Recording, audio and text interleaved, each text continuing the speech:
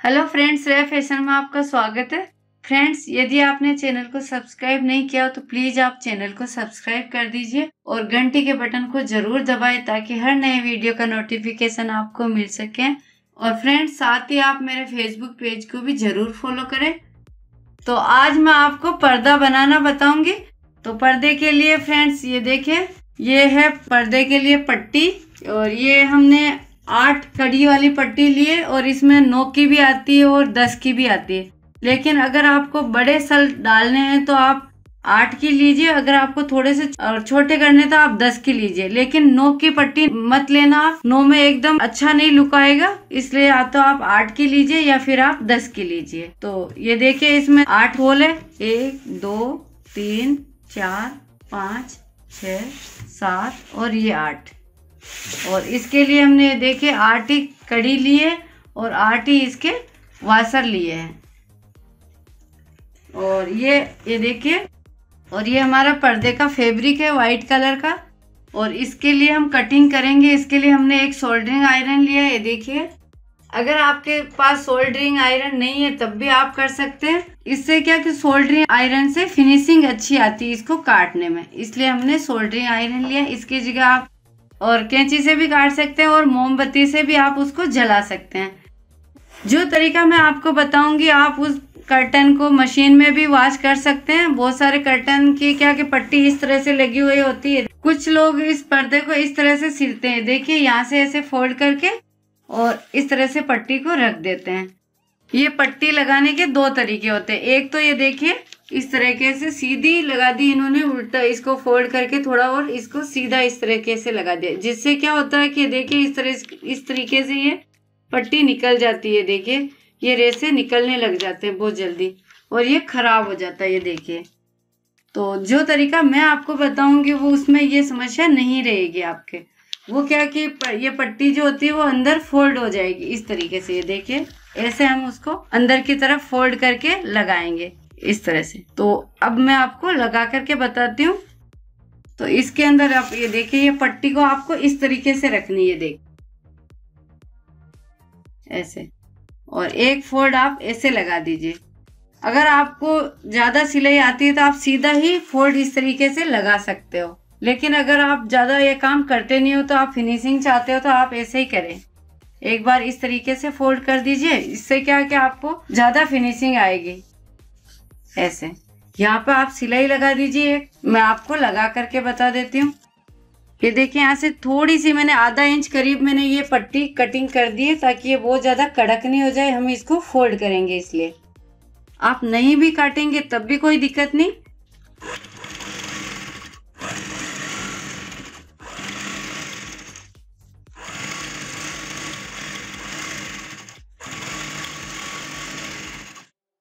एक सिलाई हमने यहाँ ऊपर लगा दी। अब हम इसको इस तरह से फोल्ड कर देंगे, ऐसे। और फोल्ड करके आप या तो इसको कच्चा कर ले या फिर आप पिन लगा ले। अगर आप कुछ नहीं लगाना चाहे तब भी कर सकते हो, लेकिन अगर आप इस पे पिन या कच्चा कर लेंगे तो एकदम से ये बराबर फिनिशिंग आएगी। इसमें जोल नहीं आएगा।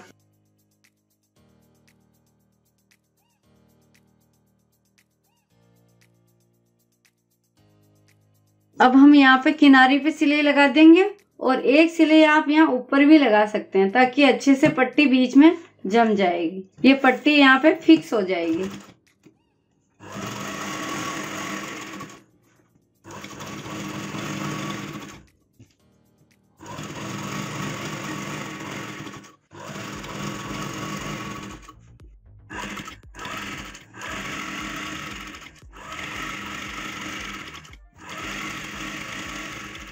नीचे और ऊपर हमने सिलाई लगा दी है। अब हम ये साइड के जो किनारे होती है, ये देखे, इसको भी हम इस तरह से फोल्ड कर लेंगे ऐसे। अगर आप नहीं करना चाहो, तब भी ये किनार रख सकते हो, लेकिन अगर आप फोल्ड करोगे तो ज़्यादा अच्छी लुकिंग आएगी।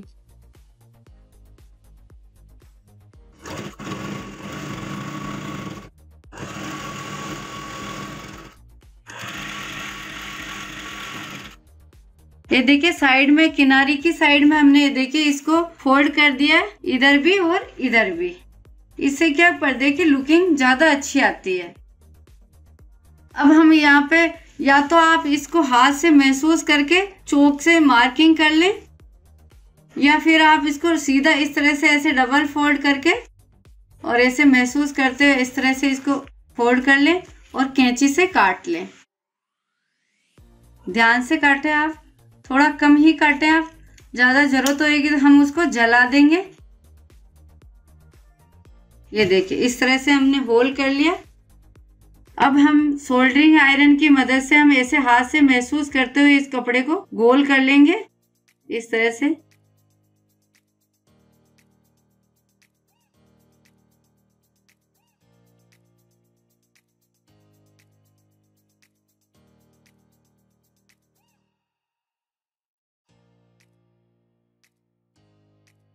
ये देखिए, हमने जला लिया इसको। जलाने से क्या होता है, एक तो इसके अंदर जो धागे निकलते हैं, वो भी नहीं निकलेंगे अब इसमें से, क्योंकि अच्छी सी ये किनार बन गई। अब हमें इसमें कड़ी लगानी होगी।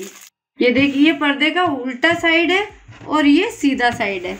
अब हमें सीधे साइड में ये कड़ी लेनी है, इस तरह से, और इसको इसमें फंसानी है ऐसे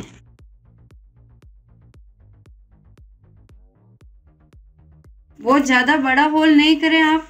ये देखिए तो ये अच्छे से फिक्स नहीं होएगा लूज हो जाएगा। और ये देखिए इसमें दो तरह के वाशर आते हैं फ्रेंड्स ये देखिए ये ये देखिए, ये अच्छा वाशर है इसका और ये थोड़ा सा इतना बढ़िया नहीं है। तो आपको अगर अच्छा मिल जाए तो आप अच्छा ले लीजिए। और इसको लगाने का तरीका मैं बताती हूँ, ये देखिए, जिसमें ये ग्रू दिखाई दे रहे ऐसे किनारी। वो अंदर की साइड रहना चाहिए और जो फ्लैट पोर्शन है वो, ये उभरा हुआ जो है वो, ऊपर रहना चाहिए। और जिसमें इस तरह डीप है, वो अंदर, इधर रहना चाहिए, नीचे कपड़े की तरफ़। तो इस तरह से आप इसको लगाएँ।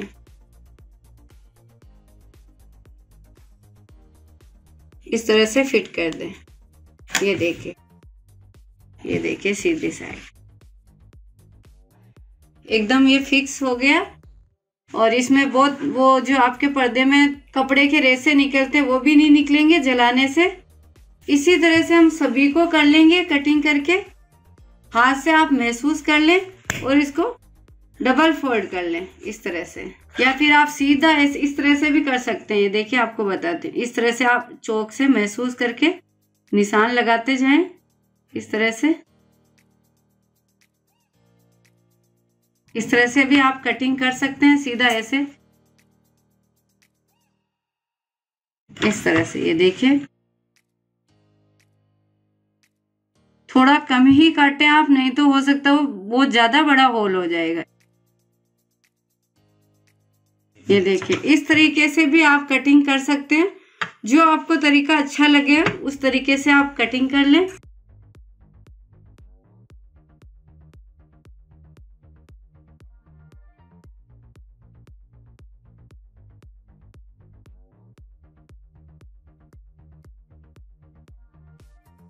ये देखिए, एकदम फिक्स हो गई इसमें अच्छे से। अब आप इसमें वाशर लगा दे। ये देखिए, ये वाशर भी आप लगा सकते हो। और ये भी जैसा कि मैंने आपको बताया इसको लगाने का तरीका कि ये अंदर जो डीपनेस है वो इधर रहनी चाहिए अंदर की तरफ़। और जो फ्लैट पोर्शन है, ऐसे उभरा हुआ, वो ऊपर रहना चाहिए, ऐसे। मैंने आपको दो कड़ी लगाकर बता दिए। इसी तरह से आपको सभी कड़ी को लगाना है। ये देखिए, हमने सभी कड़ियाँ इसमें लगा दी है, ये देखिए। और ये ये सीधा है, और ये देखिए, ये उल्टा है। ये देखिए, ये तरीका बहुत ही अच्छा है, और बहुत ही इसमें एक्यूरेसी से लगी और बहुत ही फिनिशिंग से लगी अब कोई एक्स्ट्रा धागे भी नहीं निकलेंगे, क्योंकि हमने सोल्डरिंग आयरन से जलाने से देखे, उसके धागे भी नहीं निकलेंगे वो जल के एकदम किनारी बन गई, और जो पट्टी थी वो हमने अंदर छुपा दिए जैसा कि मैंने पहले बताया आपको एक पर्दा, वो बताती हूँ आपको। ये देखिए, ये पुराना पर्दा है, इसमें पट्टी, ये देखिए, बाहर दिख रही है और इसमें अंदर छुप गई है।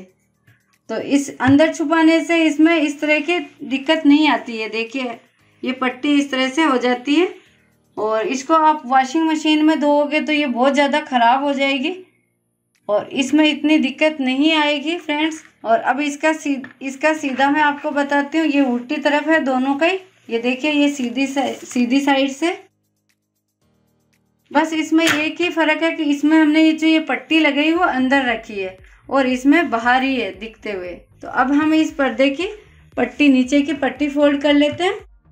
अब हम इसमें पट्टी फोल्ड करने से पहले आप ध्यान रखें आप मार्किंग लगा दें अपने लंबाई की और उसमें आधा इंच अंदर रख के और इस तरह से पट्टी को फोल्ड कर लें, ऐसे। और आप प्रेस करके इसको जमा सकते हो। अगर जमा लोगे तो आपके फिनिशिंग बहुत अच्छी आएगी। ये देखिए, नीचे हमने पट्टी लगा ली है इसमें।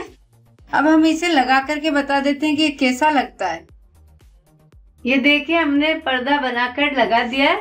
और अगर आप इसमें कोई डिज़ाइन बनाना चाहते हो तो वो भी आप बना सकते हो। मैं आपको बताती हूँ।